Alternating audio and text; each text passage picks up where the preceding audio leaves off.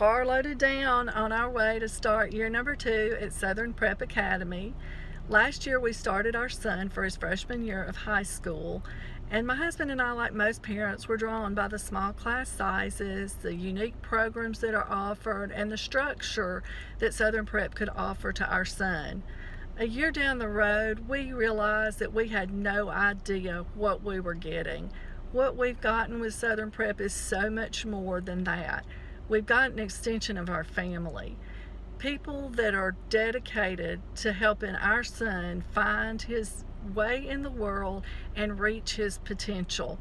I can't tell you how many people have personally poured their time and energy into making my son the best young man that he can possibly be. We are so thankful for Southern Prep and consider it a true blessing in our family's lives.